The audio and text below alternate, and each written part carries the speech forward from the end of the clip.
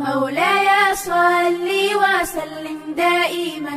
أبدا على حبيبك خير الخلق كلهم. مولاي صلي وسلم دائما. السلام عليكم ورحمة الله وبركاته. سو دوادا ولاليال رمضان مبارك.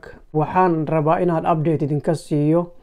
Arrimihii ka dhacay gobolka minnesota gaar ahaan magaalada minneabolos sanadkan aan ku jiro bilaawgiisa ama dhammaadka sanadka la soo dhaafay. Arrintaasi oo ku saabsan soomaali fara badan oo lagu eedeeyey inay dowladda maraykan lacag ka dhaceen lacagahaasi oo loogu talagalay ardayda xilliga coronavirus.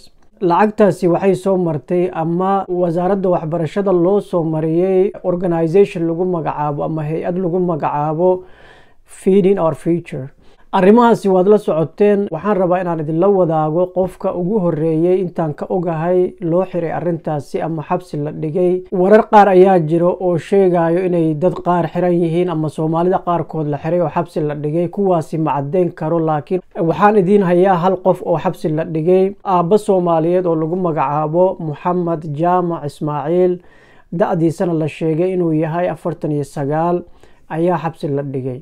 Aabbahani qaabka loo xiray waa qaab la yaab leh sababtoo ah asaga oo ewelba lagu eedeeyey inuu lug ku leeyahay lacagihii fara badnaa oo laga dhacay dalka maraykan ama dowladda maraykan ayuu haddana dembi kale galay.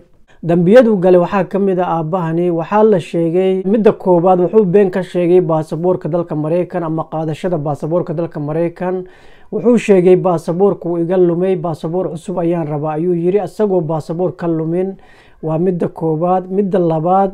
Sababtuu baasaboor u dalbanayo wuxuu yidhi cimraan u socdaa kadib diyaaradiisa marka la ogaaday diyaaradiisa waxay ka soo baxaysaa register minnesota waxay mareysaa minneabolos kadib amsterdam kadib kenya. Uma socdo cimrada been ayuu ka sheegay. Arrimo fara badan ayaan lagu haystaa waxaan rabaa inaan warbixin kooban idinla wadaago faahfaahin ku saabsan aabbahani. Kadib inta muhiim oo aan idinla wadaagi doonaa cidda aan fahmin warbixinta insha allahu tacaala. Bal ila dhageysta warbixintan kooban oo ku saabsan xabsiga aabba soomaaliyeed oo lagu magacaabo moxamed jaamac ismaaciil oo lagu qabtay minneabolos st paul international airport.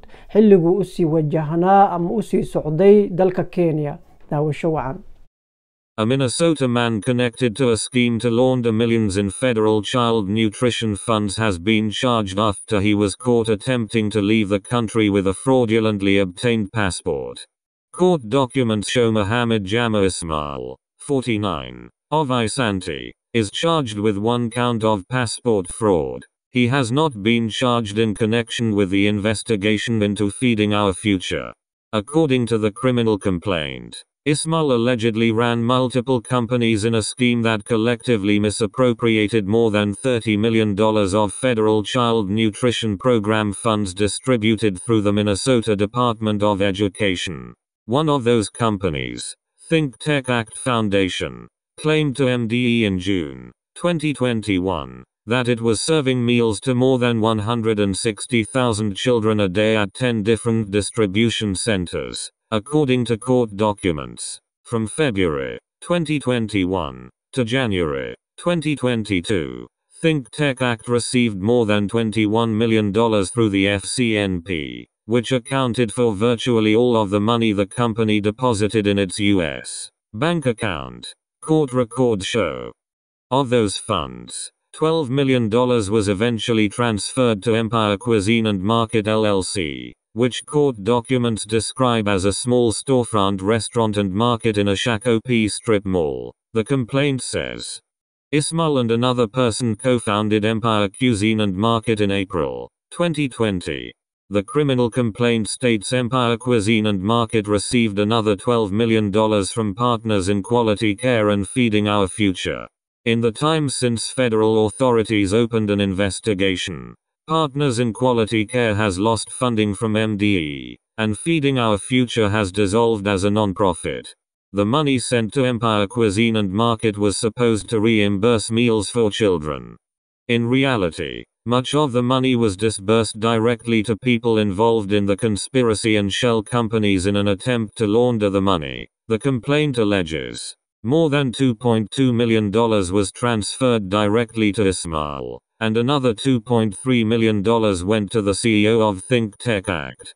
In all, prosecutors allege $8.9 million of FCNP money was sent from Empire Market and Cuisine to Ismail and his co conspirators. According to court documents, Ismail's partner, who co owned Empire Market and Cuisine, spent millions on real estate properties and cars. Federal law enforcement searched Ismail's property on the 20th of January and recovered several receipts detailing international wire transfers to China and Kenya, adding up to more than $2 million. Court records say they also uncovered WhatsApp messages between Ismail and a co conspirator in which Ismail claimed he had invested $6 million in Kenya over three years. The complaint says while executing that search warrant, authorities seized Ismail's passport.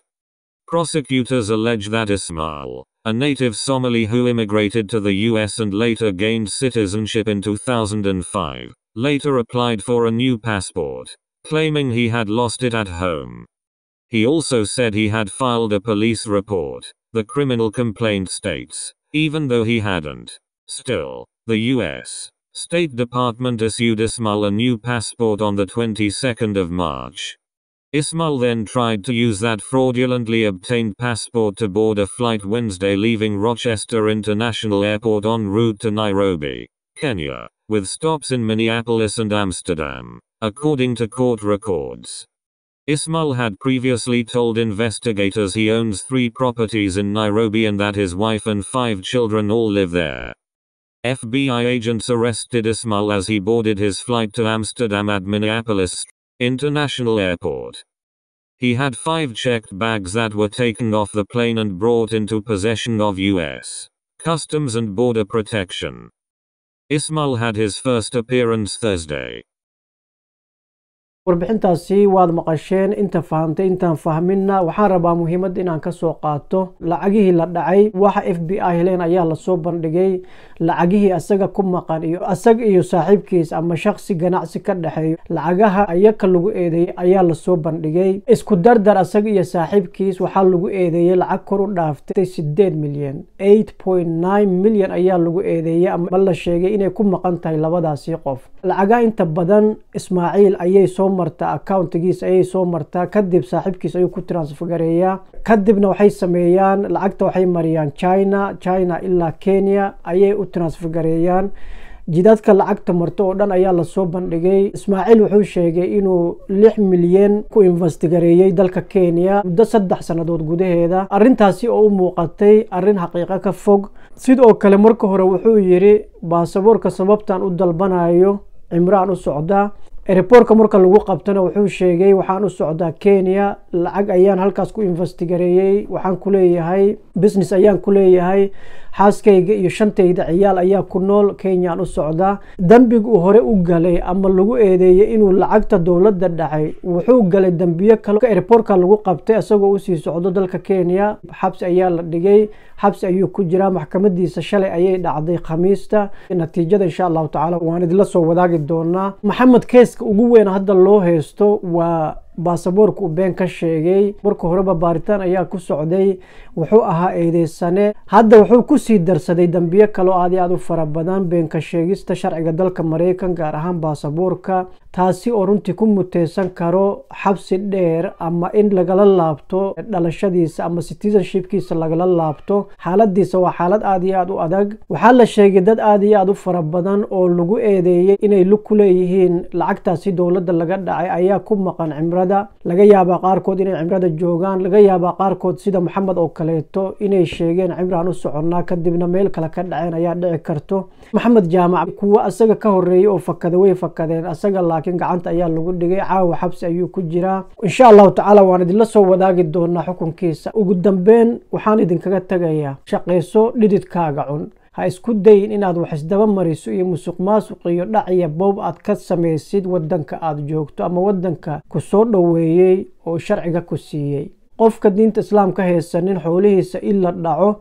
diinta banaysa ma jirto aan isku kalsoonaano aan iska ilaalino musuq maasuq iyo wax isdaba maris aan iska ilaalino beenta. Intaasi haddii aan ku dadaalno wadanka nabad ayaan ku joogi karaa horumarna waan ka gaari karaa intaasi haddii lagaa waayo ama xabsi ayaad ku dambeyn doontaa ama sharciga ayaa lagaa qaadanaya dalkaad ka imaada ayaa lagu celin doonaa ama waxaa lagaa dhigayaa cuuryaan aan shaqaysan karin tallaabo qaadi karin safar aan gali karin gaari aan gadan karin guri aan gadan karin xataa sigaar aan gadan karin ayaad noqon doontaa haddii aad tahay qof sigaar cabo dad badan ayaa jiro fursadda aan helay aan helin aan isku dayno inaan wanaag ku noolaano ama kula noolaano dadkani na soo dhoweeyey aada iyo aad baad umahadsantii walaalayaal ramadaan mubaarak mar kale muuqaalkaasi kooba maanta intaas ayaan ku soo gabagabeynayaa fadlan haddaad ku cusubtahay channelka qaysiyo raxmaa subscribe taabo gambaleelkana furus aad u hesho notification.